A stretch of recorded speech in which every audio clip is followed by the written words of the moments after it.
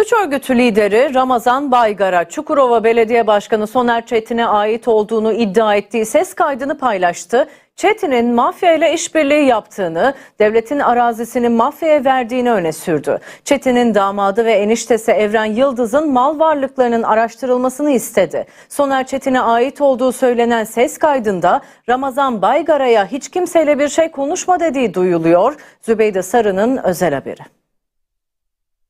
Senden ricam bu işle ilgili hiç kimseyle bir şey konuşma. Baygaralar suç örgütü lideri Ramazan Baygara Çukurova Belediye Başkanı Soner Çetin'in ses kaydını paylaştı. Baygara Çetin'in Adana'daki mafya ile işbirliği yaptığını, devletin arazisini mafyaya verdiğini ve yakınlarının haksız kazançla zengin olduğunu iddia etti. Soner Çetin'in ses kaydında Ramazan Baygara'ya hiç kimseyle bir şey konuşma dediği duyuluyor.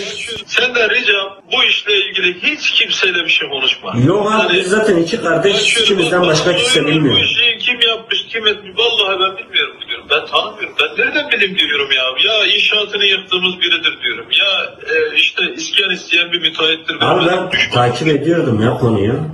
He, he, yani ben hiçbir şekilde hiç kimse benim ağzımdan en ufak bir kelime duymadı şimdiye kadar duymaz da. Baygara Çetin'in ses kaydını şu sözlerle paylaştı. Efendi, bizi gidip emniyete şikayet etmişsin.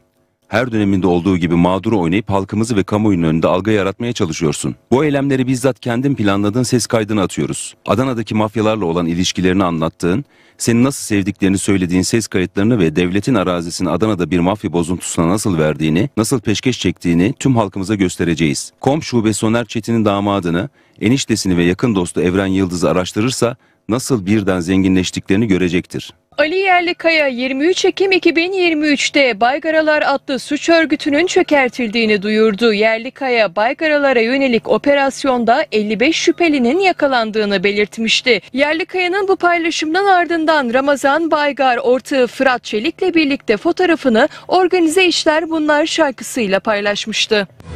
Organize işler bunlar Başımıza işler bunlar Türkiye Baygaralar suç örgütünü ilk kez Cenk cinayetiyle duydu. Cenk sosyal medyada Sedat Peker aleyhine videolar yayınladı. Videoları yayınladıktan kısa bir süre sonra 17 Eylül 2022 tarihinde İstanbul Ümraniye'de öldürüldü. Emniyet Genel Müdürlüğü Baygaralar çetesinin cinayeti azmettiren ve organizasyona dahil olduğunun tespit edildiğini duyurdu. Sedat Peker ise cinayetle bir ilgisi olmadığını açıkladı.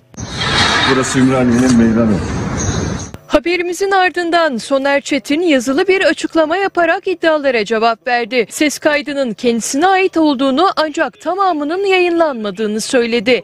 Çetin, Baygaralar suç örgütü tarafından kendisine suikast düzenlenmek istediğini ve konunun yargıya intikal ettiğine dikkat çekti. Araştırma yaptım ve Baygaralar suç örgütü liderinin suikasti organize ettiğini öğrendim. Akrabası olduğunu öğrendiğim bir kişinin görüştürmesi sonucu telekonferans sistemiyle yaklaşık 10 dakika süren telefon görüşmesi yapıp neden bu teşebbüste bulunduklarını anlamaya çalıştım. Sonra biraz da alttan alarak var mı aramızda sıkıntı? Bir düşmanlık varsa ona göre davranayım dedim. Sıkıntı yok abi kardeşiz cevabını alınca da bana soranlara da kimin yaptığını bilmiyorum. Kaçak yapısını yıktığımız ya da iskan sorunu olan biri olabilir derim diyerek telefonu kapattım.